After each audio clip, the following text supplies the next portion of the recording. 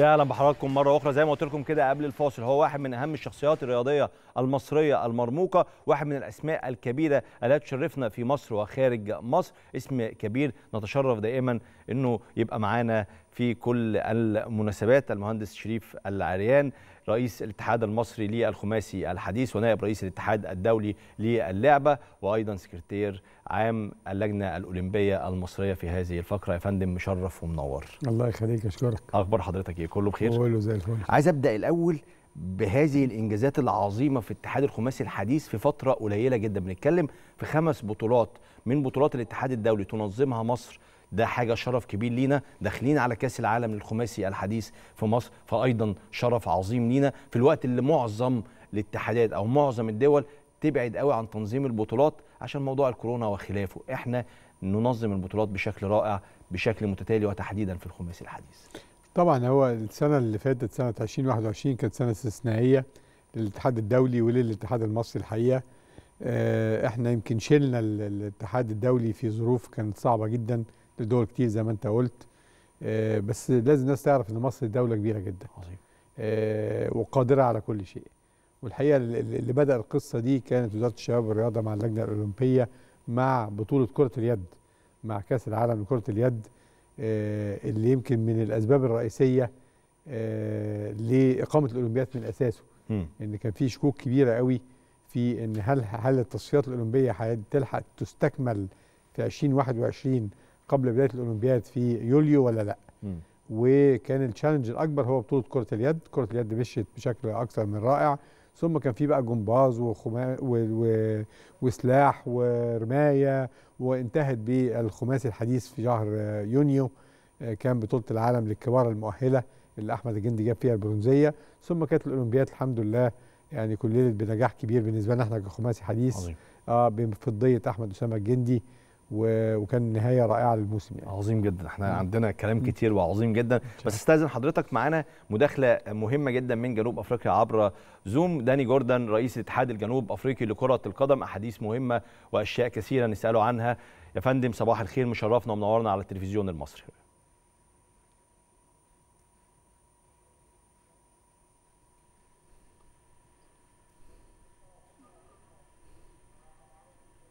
طيب هنعاود اتصال بيه مرة أخرى طيب نكمل مع حضرتك نعم. بعد إذنك أنا من الحاجات اللي دايما لما بستضيف ضيوف كبار يتحدثون عن ألعاب أخرى أتعامل مع المشاهد أو الجمهور المصري إن كلنا عارفين إنه اللعبة الشعبية الأولى بالنسبة له كرة القدم مظبوط. لما بنيجي نقول له الخماسي الحديث حضرتك أنت في عدد من الناس يعرفوا الخماسي الحديث بس مش كتير يعرفوا آه، اللعبة. إيه هي الخماسي الحديث؟ أنا هسمع إجابة حضرتك بعد إذنك بس ارجع لنا مرة أخرى. داني جوردن رئيس اتحاد الجنوب أفريقي لكرة قدم يا فندم صباح الخير. مشرفنا ومنورنا على التلفزيون المصري برنامج رقم 10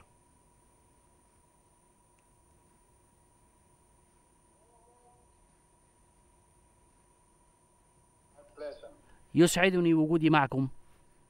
عايز أبدأ مع حضرتك من حيث انتهت الأخبار. وهي المشكلة اللي حصلت للنادي الأهلي في سان داونز أو في المباراة الأخيرة أمام سان داونز وتعطل أتوبيس النادي الأهلي أو حافلة النادي الأهلي وقت آه، يعني إنها كانت رايحة لملعب سان داونز الأزمة دي عملت مشكلة بين النادي الأهلي وسان داونز وسان داونز أصدر بيان في هذا الأمر. رأي حضرتك إيه؟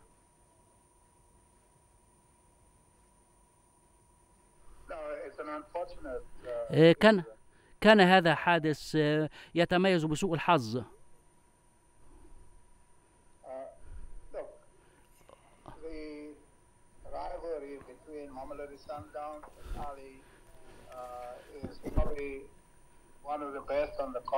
يعتبر آه، فرق النادي الأهلي وسان داونز من أفضل الفرق في أفريقيا؟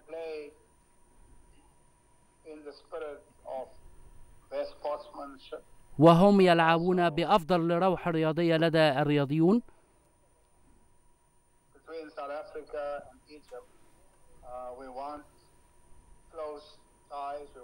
ونحن نريد أن تكون هناك علاقات ورابط وثيقة بين الفريقين. نحن أصدقاء.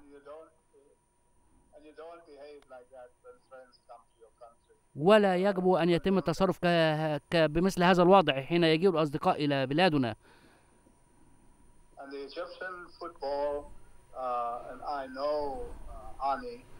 وأنا أعرف فريق الأهلي منذ سنوات عديدة. هم أصدقاء لي. ولديهم مشاركات كبيرة. هذه الأشياء كان الأقدر بها ألا تحدث. بيتسو موسيماني آه، يحقق نجاحات كبيرة وكثيرة مع النادي الأهلي في العامين الماضيين. رأيك إيه في تجديد عقد بيتسو موسيماني مع النادي الأهلي مؤخرا.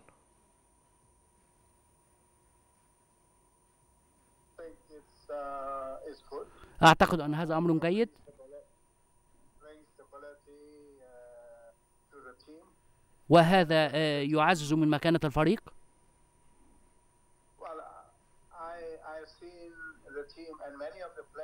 رأيت الفريق وكثير من لاعبيه.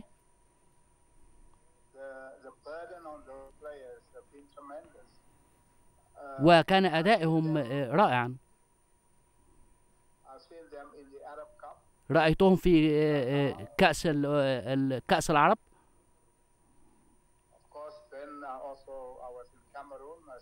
وأيضا في كنت في الكاميرون. و وبالطبع كان يمكنهم التأهل للنهائي.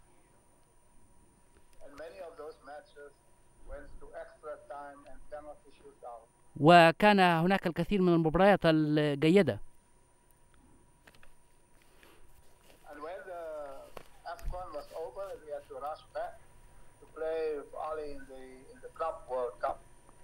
وهذا يؤهل ف...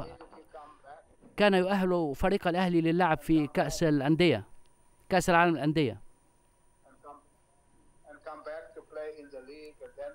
Champions. وثم عاد النادي الأهلي ولعب في الدوري.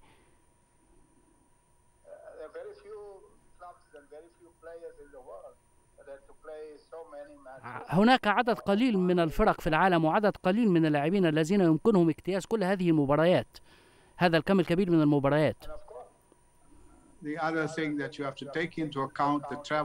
والشيء والشيء الآخر الذي يجب أخذه في الاعتبار هو السفر آه، إلى الكاميرون وغيره من البلدان. ثم آه، الذهاب إلى أبو ظبي. والعودة إلى القاهرة.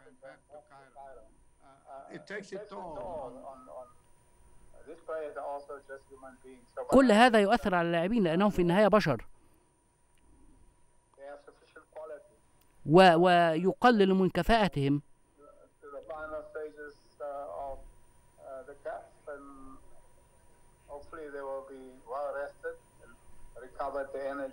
ولكنهم آه، سرعان ما يستعيدون كفاءتهم وطاقتهم.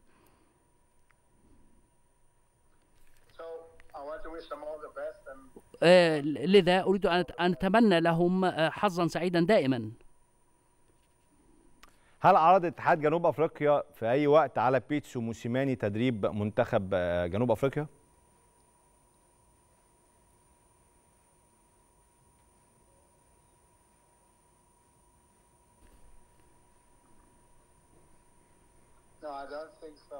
لا لا أعتقد ذلك.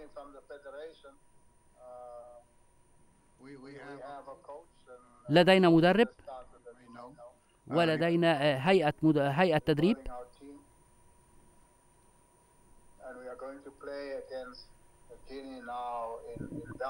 وسوف نلعب ضد غينيا.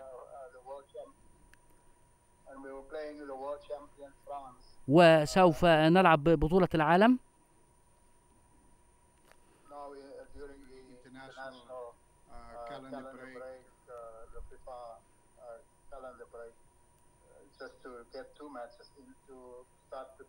كان. كان لدينا مباراتان of qualifications for AFCON 2023. مباراتان من المباريات المؤهلة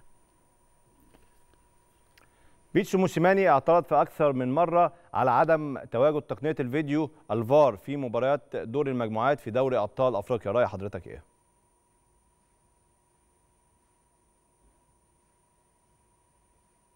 Well, I I think uh, VAR has contributed. And uh, you uh, s- saw in the African Cup of Nations, the introduction of VAR. أعتقد أن تقنية الفار شاركت في آه، كأس الأمم الأفريقية.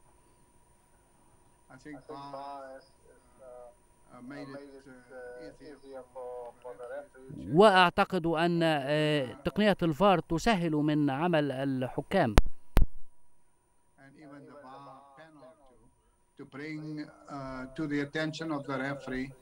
وهي تلفت انتباه الحكم. إذا ما كان هناك شيء قد حدث آه، خلف ظهره. تتذكر المباراة التي كانت في الدار البيضاء بالمغرب؟ كان في نهائي آه، كان في نهائي أبطال أفريقيا. Uh, وكان للفار دورا كبيرا وبمراجعة الفار uh, to the Kaiser Chiefs player, and uh, Kaiser Chiefs before halftime was reduced to 10 men, and I think that changed the complexion of the match. كان آه، هذا كان هذا آه، أمرا يزيد من تعقيد المباراة مع كايزر تشيفز Yeah. Well, the young player, Mas- uh, Happy Mashiani, uh, was destroyed through that incident, but I think it's a good lesson that uh, uh, he will learn as he. uh, ولكننا جميعا. نتعلم من الدروس هل تتوقع إقامة uh, بطولة uh, دوري السوبر الأفريقي البطولة المقترحة من الكاف في القريب العاجل؟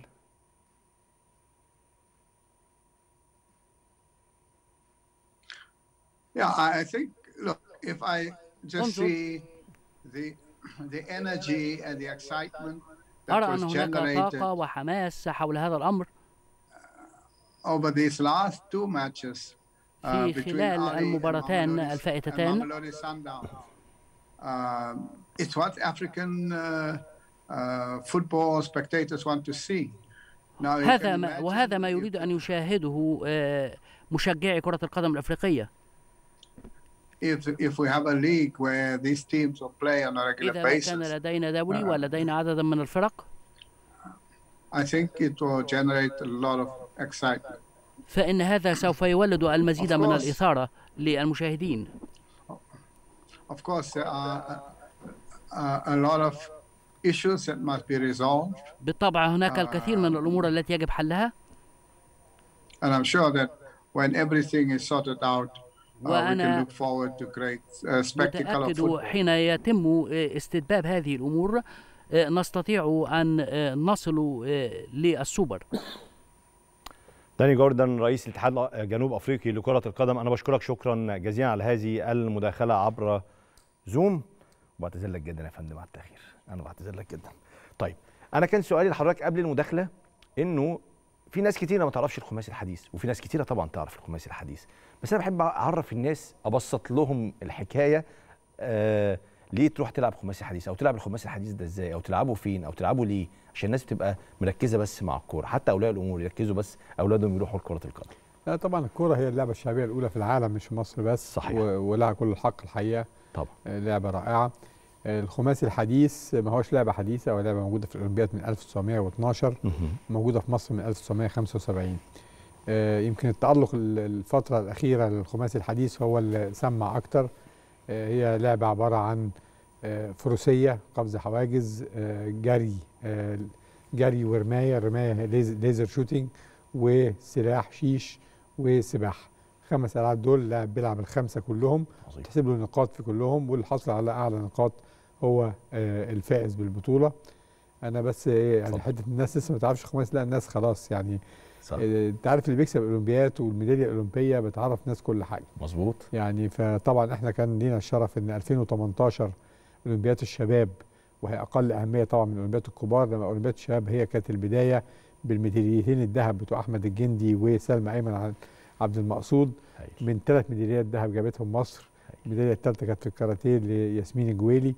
فدي سمعت جامد. وبعد كده كانت ميدالية أحمد الجندي في آه، أولمبياد طوكيو وهو عنده 21 سنة وده سن صغير جدا في الخماسي الحديث الحقيقة فطبعا آه، سمعت جامد جدا مع طبعا آه، الألقاب الكتير اللي حققناها في بطولات عالم سواء على مستوى الكبار أو الناشئين أو الشباب والجوائز الكتير اللي كسبناها في آخر يمكن سنتين ثلاثة سواء على مستوى الاتحاد الدولي آه، كان بدأنا بتاني أفضل اتحاد على مستوى العالم. يمكن السنة اللي فاتت كنا أحسن أحسن اتحاد على مستوى العالم. وطبعا في مصر برضو فوزنا بجائزة أحسن اتحاد على مستوى مصر برضو آه، فرق كتير وهو نتيجة الحقيقة مجهود جامد جدا بذل من لاعبين ومدربين وأولياء أمور وأعضاء مجلس إدارة الاتحاد الحقيقة. يعني ما حدش ما حدش اتأخر وما حدش آه، يعني وفر من مجهوده والحمد لله آه، كل بالنجاح يعني. طيب عظمة جدا. أنا هتكلم مع حضرتك على إنجازات عظيمة للاتحاد الخماسي الحديث وهتكلم على مع حضرتك على آه، آمال وطموحات لينا الفترة اللي جاية سواء على مستوى الاتحاد الخماسي الحديث أو حتى على مستوى اللجنة الاوروبيه وطموحاتنا في هذا الأمر. بس برضو أكيد دور من أدوار الاتحاد الخماسي الحديث هو انتشار اللعبة. إنه يبقى. موجود في عدد كبير من الأندية عدد كبير من المحافظات وأكيد حضرتك بتعمل الشغل دوت مع السادة المسؤولين في الاتحاد الخماسي الحديث. فعرفنا أكتر الشغل اللي معمول في ده. طبعا هي آه، يعني لما مسكنا إحنا الاتحاد الحقيقة من آه، من فترة كان ال- ال- كله محصور في القاهرة. مم. فاول حاجة عملناها أحيينا آه، آه، منطقة اسكندرية تاني وهي كانت القطب الثاني للعبه الخماسي الحديث. ثم آه، عملنا منطقة في وسط الدلتا. وثم عملنا منطقة في الوادي الجديد وبدأنا ننتشر. كان آخر حاجة لينا أو آخر يعني مشروع كبير لينا إن إحنا عملنا تعاقد مع آه، أندية سيتي كلاب آه،. مش مشكورا الاستاذ سيف الوزيري رئيس مجلس الإدارة.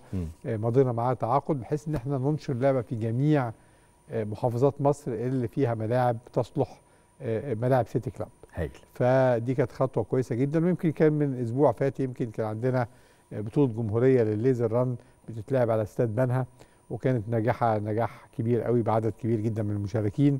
فإحنا ده طبعا هو أهم هدف للاتحاد. هو نشر اللعبة هايل. في جمهورية مصر العربية. هايل هايل. طيب عايز أتكلم أكتر على بطولة كأس العالم القادمة اللي هتقام إن شاء الله في مصر. هتقام إمتى؟ التفاصيل البطولة إيه؟ آه فكرة الإنجاز إن البطولة دي تبقى موجودة عندنا عشان ممكن الناس تتعامل مع الأمور دي عادية. إحنا نفرح قوي لو قالوا لنا مثلا إيه كأس العالم لكرة اليد موجود في مصر. طبعا. كأس العالم لكرة القدم إن شاء الله يبقى موجود في مصر. هتكلم مع حضرتك في هذا الأمر. بس ما يعرفوش برضو إن في صعوبات عشان توصل إنك تستضيف كأس العالم في الخماسي الحديث دي منافسة كبيرة ومش سهلة. فحضرتك برضو كلمنا عن هذا الأمر. طبعا. إن تجيب أي مناسبة كبيرة لمصر عايزة مجهود آه، شاق جدا الحقيقة. صحيح. ويمكن الدولة مؤخرا بقت آه، بتساعد بشكل كبير آه، الاتحادات في إنها تخوض هذه التجربة وإنها تقدم ملفات جيدة جدا لاستضافة آه، مصر البطولات الكبرى. فالاولمبياد مثلا عشان عشان بترسي عليك قبل ميعاد الأولمبياد بسبع سنوات. فالملف بيبدأ من قبل قبل الأولمبياد اللي أنت عايز تستضيفها ب 10 سنوات صحيح البطولات الدولية الكبرى عادة مع يعني تختلف من اتحاد لاتحاد إنما من سنتين إلى ثلاث سنوات بتبدأ ترسية البطولات. فإحنا جينا في سنة 2019 الحقيقة كان خلاص يعني مدتنا تنتهي 2020 مع الأولمبياد. ما كناش نعرف طبعا الأولمبياد هتتاجل سنة ويتمد لنا سنة مم. إنما كان لازم نأمن للاتحاد اللي هيجي بعدينا ايا كانت الانتخابات هتجيب مين آه، بطولات. لأن. أنا لو ما اشتغلتش وعملت بيدنج في البطولات هيجي اللي بعدية هيلاقي نفسه قاعد ثلاث أربع سنوات ما بيعملش حاجة خالص. صحيح. أو ما عندوش بطولات كبرى يقدر ينفذها ويبدأ يعمل bidding لبطولات كمان ثلاث أربع سنوات. فالحمد لله إن إحنا مع الاتحاد الدولي الاتحاد الدولي عنده 10 بطولات كبرى في السنة أربعة كأس عالم نهائي كأس عالم ثم بطولة العالم في المراحل المختلفة كبار وناشئين وشباب في مرحلتين والاثنين وحاجة اسمها آه، ال biathle وال triathle وال laser run ده لل grass roots أو للسن الصغير يعني مم. فالحمد لله إن إحنا آه، نظمنا لمصر آه، كأس عالم رقم واحد اللي هيقام في أفريقيا.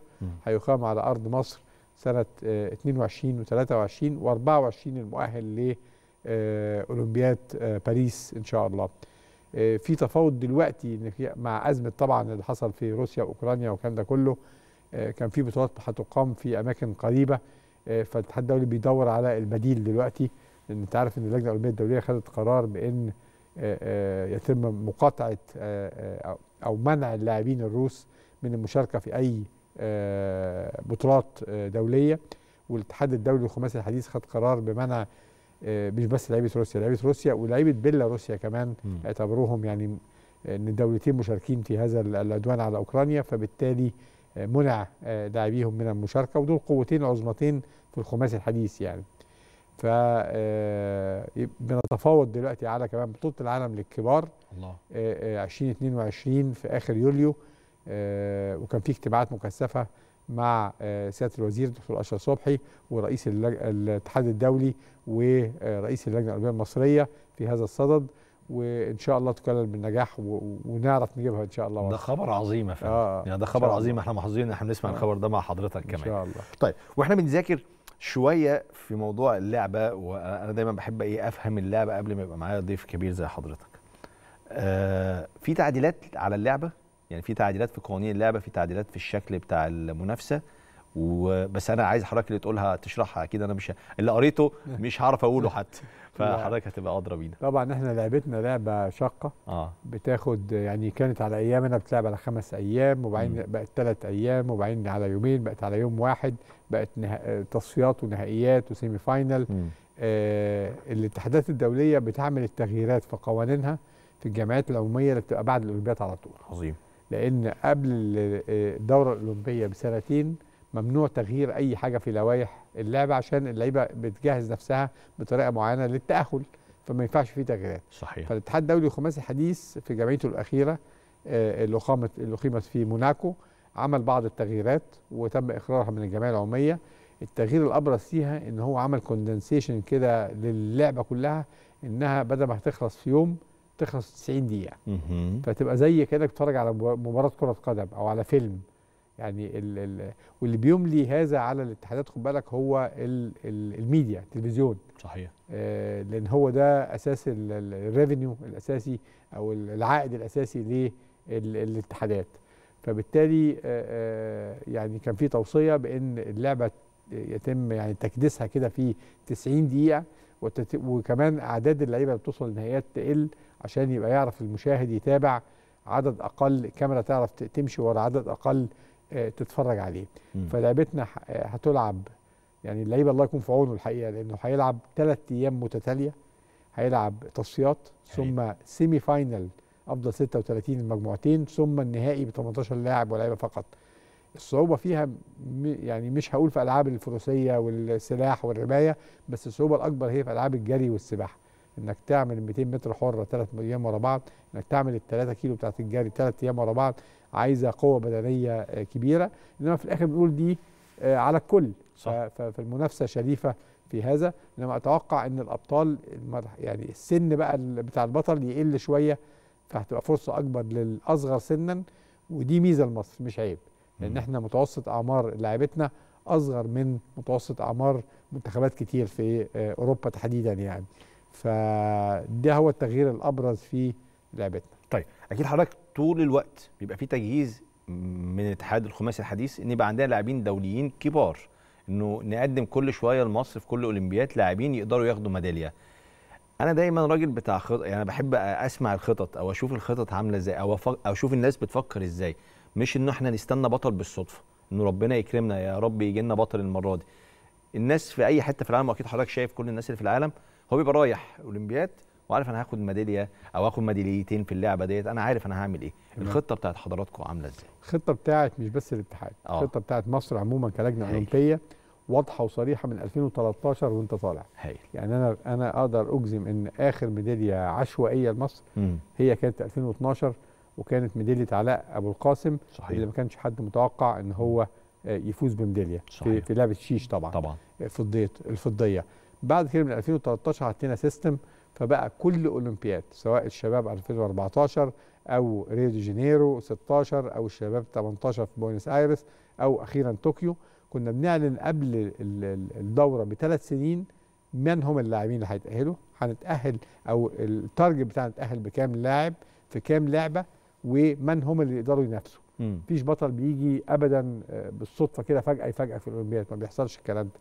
تمام؟ في مقومات واضحة هايل. وصريحة آه، لهذا. فعملنا في ريو دي جانيرو لستة ال 16 لاعب القادرين على المنافسة بفرص مختلفة وقلنا هيطلع منهم من ثلاث إلى خمس ميداليات أولمبية وحصل إن طلع ثلاثة ويمكن اثنين ثلاثة خلصوا بمركز رابع كانوا قريبين قوي. صحيح. آه، جينا في 2020 قبل ما طوكيو تأجل سنة صحيح. وقلنا إن آه، مصر عايزين نكسر العدد خمس خمس ميداليات أولمبية. حطينا ثلاثة تارجتس الحقيقة. مم. قلنا أول حاجة عايزين نتأهل بأكبر بعثة أولمبية في تاريخ مصر وأكبر بعثة كانت 121 لاعب ولاعبه في اتنين في 23 لاعبه أولمبية. هايل. قدرنا إن إحنا نتأهل ب 145 لاعب ولاعبه في 24 لعبة أولمبية من أصل 28 لعبة موجودة في مصر مم. فقط لعبة أولمبية يعني فده كان عدد كويس جدا ثم قلنا إن إحنا عايزين نكسر العدد خمسة اللي هو أكبر عدد من الميداليات جابته مصر في أولمبياد كبار في تاريخها مهم. حققته ثلاث مرات الحقيقة مم. حققته في أولمبياد آه، 36 برلين 48 في آه، آه، لندن وأثينا 2004 مم. فإحنا قدرنا إن إحنا نكسر هذا الرقم وحققنا ست ميداليات أولمبية وده كان حاجة يعني أكثر من رائعة الحقيقة في الاولمبياد الأخيرة تحديدا وحضرتك تتذكر. يعني هنرجع شوية إنه الناس حصل لها حالة تشاؤم في الأول كل الناس يعني مفيش مد... الأيام عمالة تعدي مش بناخد ميداليات لا بس وإحنا دي يعني وإحنا قالوا لنا قالوا لنا هناخد ميداليات كويسة تمام. وما خدناش ميداليات كويسة حصل في الآخر ولا لا ما هو دي الفكرة. بقى فانا هقول إيه؟ لحضرتك هي. قصة إن لازم الاعلام يسلط ضوء إن أي بطولة بتتلعب الميداليات بتبقى إمتى؟ بتبقى في النهاية آه خلاص يعني مثلا بطولة الكورة آه خلاص عندك تصفيات المجاميع وبعدين اللي قبل ال quarter final وبعدين ال semi final وبعدين ال final ففي الأول طبيعي إن مفيش ميداليات لسه. خلاص في ألعاب بتبقى النهائي بتاعها في نفس اليوم. بالظبط زي عشان موازين معينة في آه، التايكوندو مثلا فإحنا كنا عارفين بالظبط مين اللي بينافسوا وموعد الميلاد بتاعتهم إمتى. صحيح. تمام؟ فكان دايما أنا حتى وأنا الإعلام بيكلمني وأنا في طوكيو آه. بقول له يعني انتظر. صح. إحنا إحنا ده إحنا في آخر يوم عندنا منافسة. على آه، يعني منافسة كانت على ثلاث ميداليات. مظبوط. في آخر يوم آه. اليد بيلعب آه، في الثالث والرابع الخماسي بيلعب آه، نهائي الولاد والكاراتيه في ريال بتلعب على نهائي الكاراتيه. صح. فحققنا اثنين من الثلاثه يعني وده حاجة كويسة الحقيقة. آه، كان عندنا فرص للالعاب أخرى إنها تنافس طبعا كان عندنا. يعني الألعاب اللي كان عندها فرص الألعاب الجماعية كانت كرة القدم وال- واليد مظبوط والناس كانت متشائمة إن كرة القدم مش هتعرف تعدي من المجموعة الصعبة اللي فيها أسبانيا وفيها. الأرجنتين صح. طبعا مجموعه صعبة إنما قدروا. يعدوا لما يعدوا كمان من دي وبعدين يقابلوا البرازيل اللي هي مم. جابت الذهبية في الآخر مم. كان موضوع مش سهل صح. ونتغلب 1-0 فقط برضو كانت نتيجة يعني طبيعية بقول يعني مش أكتر من كده. كان ممكن الطريق يبقى أسهل من كده. اليد كلنا كنا بعد ما شفنا اللي حصل كأس عالم هنا ونتغلب في دور الثمانيه من من الدنمارك بالعافية صح خلاص بعد وقتين إضافيين وضربات جزاء مم. فكلنا كنا كلنا متشائمين يعني متفائلين سوري إن إحنا ربنا هيعوضنا خير في الأولمبياد. وقد كان يعني هنوصل. لأول مرة لل semi final صح آه، حاجة أكثر من رائعة وإن شاء الله الاتحاد يبني عليها لأولمبياد 24 الألعاب الفردية واضحة وصريحة آه. في ألعاب رقمية واضحة زي ألعاب القوة والسباحة والكلام ده كله فإحنا عارفين already إن فرصنا فيها شكلها إيه بالظبط. مظبوط. أما الخماسي الحديث فإحنا من الأول مسافرين قلنا بولدين تأهلنا بأقصى عدد اللي هو. ولدين وبنتين. مظبوط. وبالعكس إحنا تأهلنا بأكتر من كده كمان. مم. ودول قليلة جدا يمكن إحنا وكوريا و آه، وفرنسا وألمانيا. كنا الدول الوحيدة اللي اتاهلت بأكتر من ال- الحد الأقصى للكوتا اللي هو 2 و2 فكان من حقنا إن إحنا نختار مين اللي يلعب. صحيح. تأهلنا حضرتك باربع ولاد وثلاث بنات. ولعبنا بأقوى اثنين عندنا في هذا التوقيت. وقلنا من الأول إن أي ولدين عندنا هيتأهلوا هننافس بيهم. يعني كان ممكن احمد أحمد أشرف على فكرة كان في التصنيف العالمي سابق أحمد أسامة الجندي كانوا داخلين على الأولمبياد واحد مصنف السابع والثاني التاسع. مم. تمام؟ والجندي اللي خد الميدالية. إنما الجندي اللي خد الميدالية ربنا كاتبها له. طبعا. وخلصوا بطولة العالم اللي قبليها كانت بشهر ثالث ورابع الجندي كان ثالث وأحمد أشرف كان الرابع. في, في, في الفردي. مم. البنات قلنا إن بناتنا صغيرين يعني سواء الثلاثه اللي تاهلوا كانوا آه، هايدي عادل وأميرة انديل وسلمى أيمن عبد المقصود الثلاثه صغيرين ثلاثة مواليد 99 و2000 و2003 فدول ننتظرهم في 24 و28 إن شاء الله. إن شاء الله. آه، وأدوا أداء أداء كويس يعني قلنا آه. إن هم هيخلصوا إن شاء الله يعني في النص مش هنخلص في, في, في الأواخر. صح. وقد كان حضرتك في وسط كلامك بس دون مقاطعة الاسترسال قلت إنه لما نعوز ننظم اولمبياد محتاجين الملف ده يكون خلصان من 10 سنين. مظبوط. دلوقتي في 2022 وكلنا نحلم بتنظيم اولمبياد 2032 كلنا نحلم ليه؟ إن دلوقتي أنا بكلمك أنا على مستوى الإعلامي والمستوى الجماهيري لا أنا دلوقتي أقدر بكل ثقة أقول لك إنه أو أنا تصوري المشهد من بره يعني آه مصر تقدر تستضيف بطولات كبيرة. ممكن من سنين زمان فاتت كنا نبقى نحلم بس عارفين إن واقعيا ممكن لأ. دلوقتي مع كم البطولات العالمية الكبيرة اللي مصر نظمتها في سنوات قليلة جدا لأ طب أنا ما نظمش اولمبياد ليه؟ حضرتك الناس كلها متذكرة صفر المونديال بتاع الكورة. طبعا. تمام؟ مش آه. مش قادرة تنساه. على فكرة الراجل الراجل آه. كان معانا من شوية ده كان مسؤول في آه، اللجنة اللي كانت بتشرف على ملف جنوب أفريقيا لكأس العالم 2010 بالمناسبة يعني كنت تمام. بس عشان قلت المحور ما 2010 يطولش. طبعا وصل للمرحلة النهائية في كرة القدم طبعاً. كان مصر والمغرب وجنوب أفريقيا صحيح ويعني جنوب أف... المغرب آه، وجنوب أفريقيا جنوب أفريقيا كسبتها في الآخر بس كانت مفاجاه إن مصر تاخد صفر في التصويت الصدمه آه آه، اللي الناس ما. تعرفوش برضو إن مصر قدمت قبل كده على استضافة أولمبياد أو دخلت هذا المزاد خلاص ولم تصل حتى لمرحلة التصويت النهائي. خلاص لأن كان عندنا مشاكل كتير في السكيورتي وفي النقل وفي حاجات كتير وكان ده كان في أواخر التسعينات على فكرة. آه، هل إحنا دلوقتي قادرين؟ إحنا قادرين وقادرين بشدة وبقوة. هايل. آه، اللي اتعمل في العاصمة الجديدة لا حاجة يعني فوق الخيال. يضاهي أحسن أماكن موجودة في العالم الحقيقة. فمصر بقى عندها الإمكانيات الفنية لاستضافة أولمبياد بشكل كبير.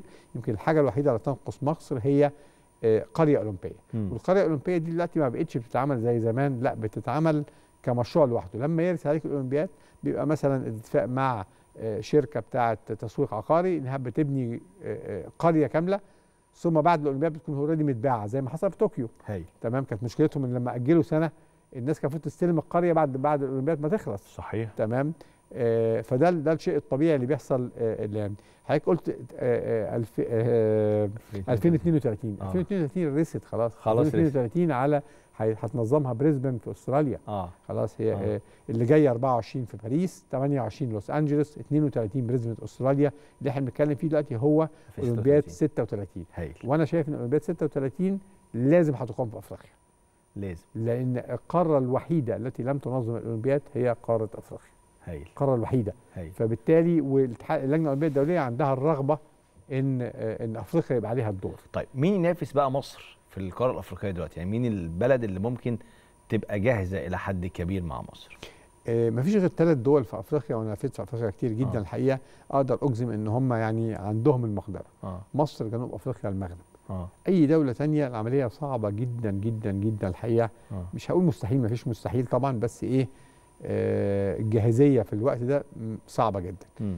آه، مصر لو قلنا في. في في bidding لاولمبياد كمان سنتين ثلاثة إحنا ملاعبنا جاهزة فحضرتك متخيل إن إحنا مش لسه هنبني حاجة إحنا جاهزين في جميع الألعاب اللي موجودة لاستضافه الأولمبياد مم. آه شوية logistics خفيفة محتاجة تتعمل إنما زي ما قلت عشان ما يحصلش صفر مونديال تاني ولا يحصل الموضوع ده في آه في بوليتكس كتير في آه آه، تجهيز بشكل كبير جدا في قيادات على أعلى مستوى بتقعد مع بعض عشان تتفق على كل ما هو مطلوب خلاص لهذه الاستضافة.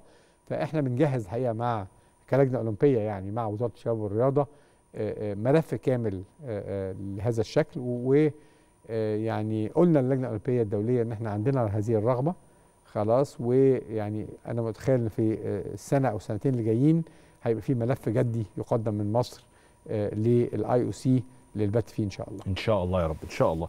نفس الأمر ينطبق على كأس العالم. كأس العالم هو حلم المصريين كلهم بقى. إحنا بنتكلم على كوره كأس العالم لكرة القدم. تمام. إنه إحنا إحنا تقريبا نظمنا كل البطولات العالمية تقريبا في 90% أو أكتر من 90% من كل الألعاب. كأس العالم لكرة القدم هو الحلم الأكبر أكيد يعني. هل نقدر دلوقتي نثق أو نحلم أو يبقى إيدينا مليانة كده باللغة العامية إنه آه ننظم كأس العالم ليه لأ؟ آه، كاس العالم. طبعا لازم تفرق كاس العالم ده متروك للفيفا. طبعاً. الفيفا هو اللي طبعاً. يملك آه، طبعاً. آه اعطائه لمين؟ وهو الثاني أكبر حدث على مستوى العالم بعد الدوره الأولمبية. صحيح. آه، فهو حدث كبير جدا ومصر كلها بتحلم طبعا يبقى عندها كاس عالم هنا. آه، هتبقى حاجة أكثر من رائعة. آه، هل ملاعبنا كلها جاهزة؟ آه، بالمواصفات المطلوبة؟ ما أظنش. الحقيقة إن ممكن يكون عندنا آه، بعض الاستادات آه، آه، جاهزة. إنما كأس العالم في الآخر ب- آه، الفرق بين كأس العالم و آه، والأولمبياد إن الأولمبياد بترسي على مدينة مم. يعني بنقول مدينة القاهرة مدينة الإسكندرية طوكيو تمام، آه آه، سيدني وهكذا. بالظبط آه. كده كأس العالم بيرسي على بلد آه أو بيرسي على بلدين يعني آه. كأس العالم ممكن تلاقيه بيقام في آه، مصر والسعودية مثلا مثلا أو بيقام في ثلاث دول حتى ده وارد مش آه. آه. مش حاجة يعني ملفات بتقدم آه، بهذا الشكل فدي عايزة اتحاد الكورة بقى يشتغل بقوة ولو كان عنده الرغبة مع مع وزارة الشباب والرياضة لإقامة ده إنما أنا كمشجع أيوة. آه، وكواحد بحب الكورة آه. أتمنى طبعا أشوف كأس عالم في مصر إن شاء الله. مهندس شريف الإعلان حضرتك شرفتني ونورتني حقيقي الحوار رائع جدا وكالعادة حوار رائع معاك جدا. شكرا. الله يخليك أشكرك. أشكرك يا فندم شكرا, شكرا. جزيلا. لسه مكملين مع حضراتكم بعد هذا الفاصل نواصل إن شاء الله.